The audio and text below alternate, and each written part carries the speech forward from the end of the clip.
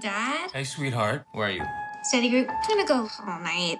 Oh, one more thing. I want to know Dad. about the final you t- took today.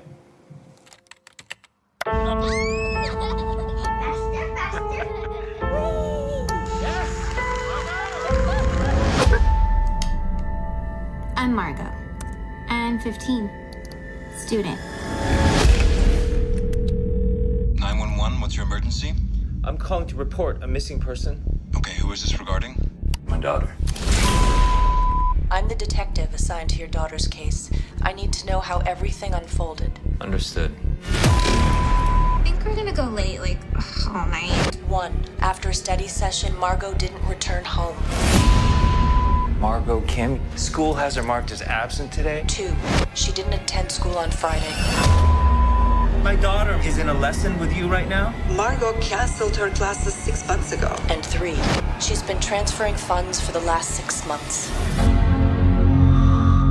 We'll handle the ground investigation, but as a parent, you can help us with who your daughter talks to. Is that something you can do? Yes.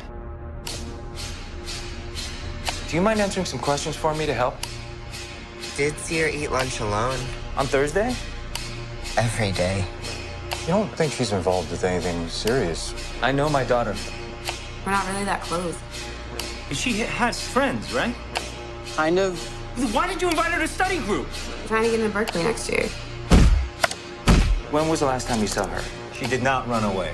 Local team has been missing since last Thursday. She made a transaction of $2,500. I know my daughter.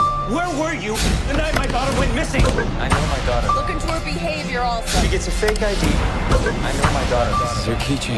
Oh, she was my best friend. You broke his jaw. I know my daughter. I'm trying to help you find my daughter. I didn't know her. I didn't know my daughter.